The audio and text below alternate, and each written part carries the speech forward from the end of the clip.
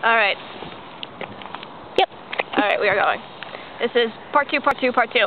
Because our first one didn't take, because I hate this camera. Anyway, back in London. No, no.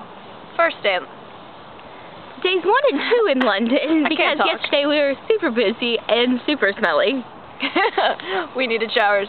But, um, not just us. There was this guy that we had to sleep in the same room in. Next to me, And he definitely made the whole room slash hallway a little, uh, funky. funky is not the word for it. Like, this boy reeks. Like, there's no other freaking word for it. Reeks. So yesterday we got into London. We took a ferry, and then a train, and then a train, and then a bus, There and then a train, just ran by. He was pretty hot. and then we took the underground, the tube. Lots of fun. Tubing. Anyway, this hostel we're staying at is a little um Awful. a little awful, but we can do this. We leave for Paris in a few days. Today we went to the British Museum, Tower of London. Tomorrow we go to Stonehenge. Who's excited? You are. Yeah, I'm talking to you.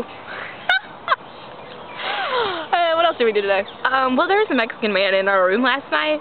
Not to be racist or anything. I think he's Muslim, a Muslim Mexican. But we're not really sure which way Mecca faces.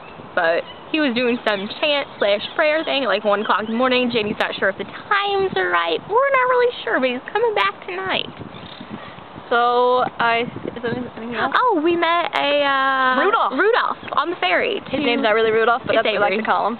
Um, he graduated from Duke a couple years ago, and now he is going to law school.